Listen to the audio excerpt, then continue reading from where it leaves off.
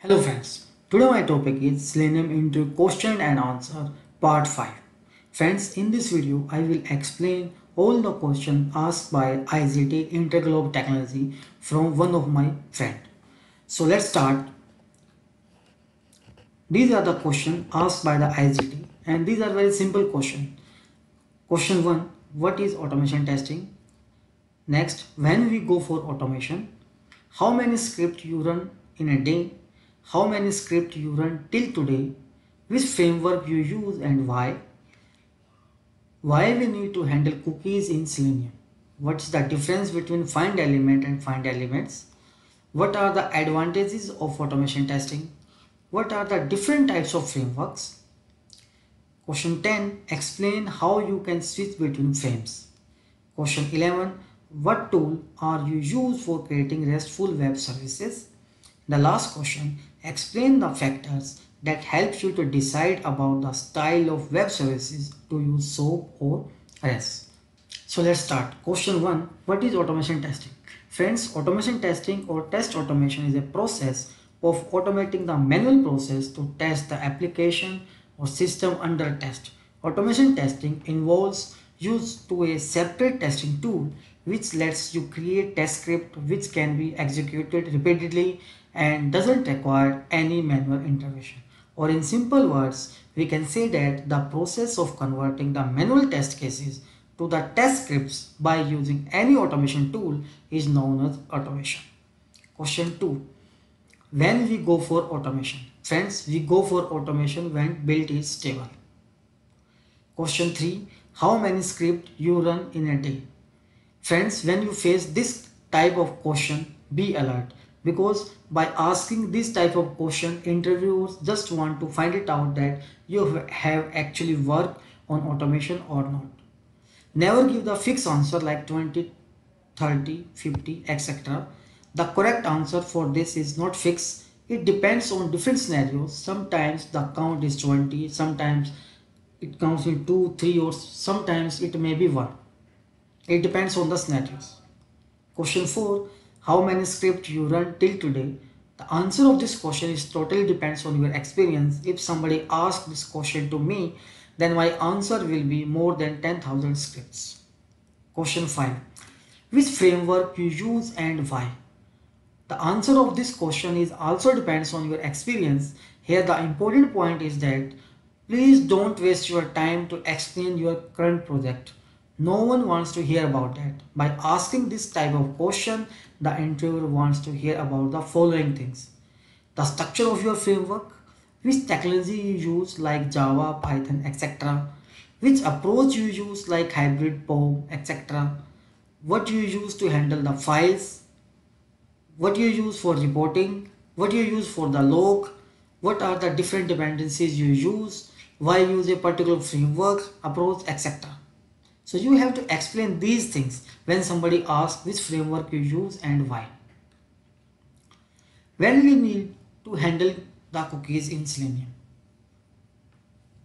Why we need to handle the cookies in Selenium? Friends, we need to handle the cookies in Selenium due to the following reason. First, there could be the scenario specific to cookies which need to be automated and required validating entries in cookies file. Second, we can delete previous cookies of the browser to increase the speed of the execution. Third, when we test a web application using Selenium WebDriver, we may need to create, update or delete a cookies. Next, we can skip some scenarios like login to application for each test case if we create the load cookies file during automation as the same get handled by the cookies, this saves the overall test execution time. Next question. What is the difference between find elements and find elements? Friends, these are the three major difference between find element and find elements method.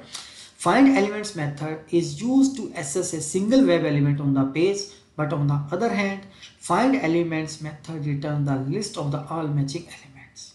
Find element returns the first matching element, but find elements return the list of matching elements. Find elements throw no such element exception when it fails to find web element but on the other hand find elements return empty list when it fails to find web elements. Next, what are the advantages of automation testing? Friends, this is very simple question. It is free open source. So many communities are there. You can use different browser, different platform, different language. Question 9. What are the different types of framework? Types of framework are unit testing framework, data driven framework, keyword driven framework, hybrid framework and POM page object framework. Question 10. Explain how you can switch between the frames. For example, on your screen there are few frames, 2, 3 or 4. Then you have to switch from 1 to second, second to third or third to 1. Then how you can switch? So friends, to switch between the frames, we can use switch to dot frame method we can switch to a frame by using the following way. We can switch to a frame by index. The format will be switch to dot frame. Here you have to enter the index number 1, 2, 3, 4, 5 or switch to a frame by its name. Switch to dot frame. Here you have to pass the frame name and switch to the frame by web element location. Here you have to find out the location. So these are the way by which you can switch between the frames. Question what tools are used for creating RESTful web services? Friends, we can use following tools to, in testing for SOAP and RESTful web services. For manual testing, we can use SOAP UI tool, Poster for Firefox, the Postman extension for Chrome. But for the automation testing, we can use Selenium with REST Assured or Selenium with the HTTP client. Question 12. Explain the factors that help to decide about the style of web services to use SOAP or REST means you have to decide that you are just going to use REST or SOAP. On which factor it depends what kind of web services you are just going to use. So the factors are first simplicity. REST based web services is preferred where simplicity is required. Scalability. REST based services is preferred where scalability is required. Multiple data format.